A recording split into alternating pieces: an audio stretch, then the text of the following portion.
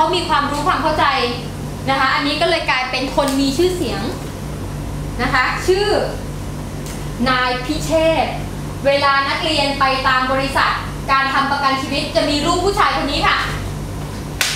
แปะอยู่ที่นี่นะคะ เหมือน AUA AUA เนี่ยก็มีรูปของคุณจอร์จอยู่ที่นี่ ขโมยห้ามมา AUA ใช่ไหม ตอนนี้คุณพิเชษก็เลยกลายเป็นคนมีชื่อเสียงทุกๆบริษัทนะคะบริษัท insurance ประเทศไทยมีผู้ชายรูปผู้ชายคนนี้แล้วก็มีข้อมูล ชื่อมิสเตอร์อะไรนามสกุลอายุเท่าไหร่บ้านที่ไหน address อะไรเบอร์โทรศัพท์อะไรมีหมด เพราะว่าตอนนี้ประเทศไทยออนไลน์นะคะและตอนนี้ 2009 เดี๋ยวถ้านักเรียนเรียนข่าว ก็จะมีอีกหนึ่งคนที่มีปัญหาแบบนี้เหมือนกัน เกี่ยวกับการโกหกเพื่อจะเอาเงินจากบริษัทประกันชีวิตนะคะ